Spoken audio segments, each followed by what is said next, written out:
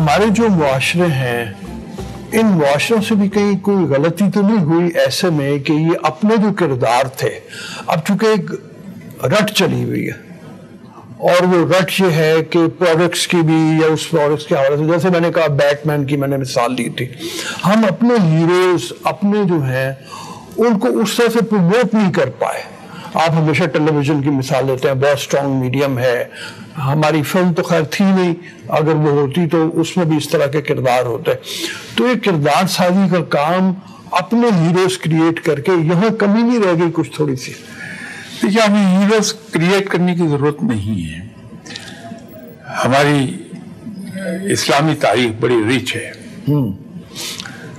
हम हमने जो गलती की है वो ये की कि बड़ी हैरत अंगेज चीज़ थी कि अंग्रेज़ क्रिश्चियन था। ज़्यादा बड़ी अक्सरियत क्रिश्चियंस की थी।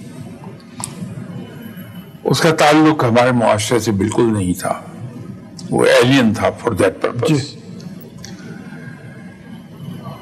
उसके मौसमी हालात जहाँ से वो आया था बिल्कुल हमारे बरक्स थे।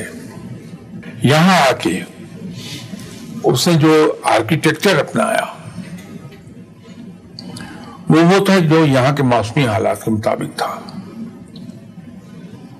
उसने जो हमारा सिलेबस बनाया, जो सबसे इंपॉर्टेंट चीज़ थी, वो सिलेबस वो था जिसमें हमारे अपनों की मिसालें थी उसमें कोट की भी उसमें छोटी छोटी कहानियाँ उसने शामिल की हुई थी।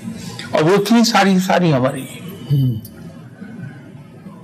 और उसने अपने मुआरे से मिसालें नहीं उठा के दी थी।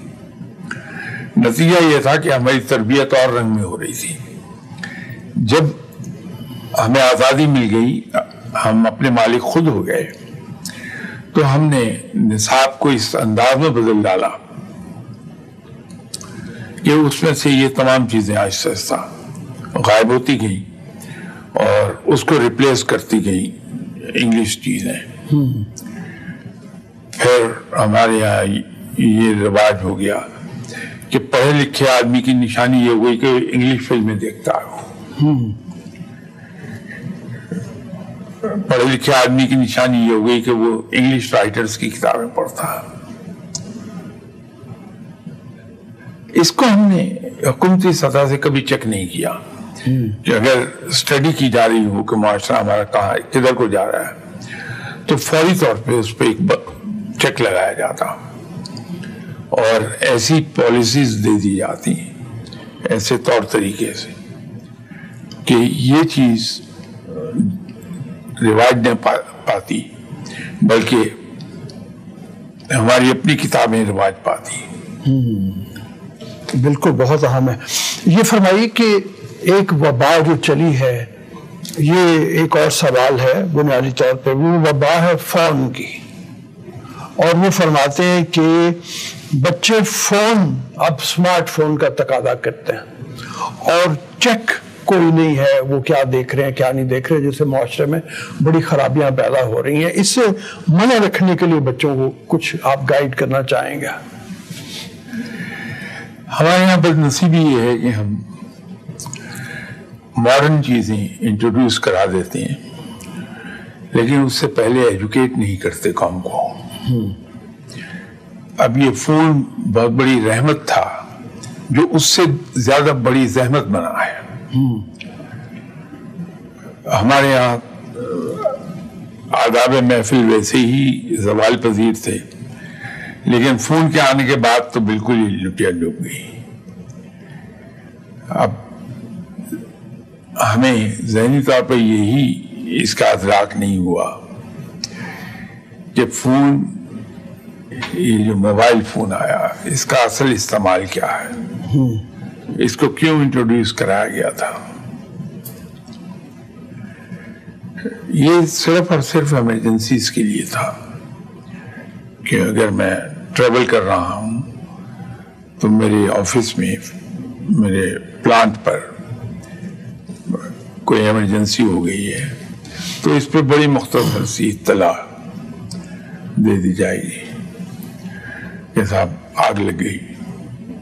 अब ना आइनों की आग लग गई है, मुझे जल्दी पहुँच रहा है। तो वो ये कितना कि फला जगह आग लग गई, जनाब। बात खत्म हो गई। तो मैं वहाँ पहुँच जाऊँगा। इसको हमने एंटरटेनमेंट का एक ज़रिया बनाया। अब हम सोशल गुफ्तगु इस पर घंटों करते हैं बैठ के। अब इसी तरह और चीज़ें हमने इंट्रोड्यूस कराई। उस पर एजुकेट बिल्कुल नहीं हमने किया। अब माओ ने अपनी माएँ जो थी, उन्होंने अपनी सहूलत देखी। तो कि हमें बॉदर न करें हमारे छोटे बच्चे। तो बड़ी यंग एज में, बहुत ही छोटी एज में अपना स्मार्टफ़ोन उसके हवाले कर दिया, वो कार्टून्स देख रहा है, उसमें कोई और प्रोग्राम देख रहा है, उसमें मगन है वो। जब वो बड़ा हो गया तो एक तो आँखें उस करीब की गई। उसने बुरा असर डाला शो ने। दूसरा ये है, उसकी डिमांड है कि मुझे फ़ोन दिया जाए लाके। तो अगर हम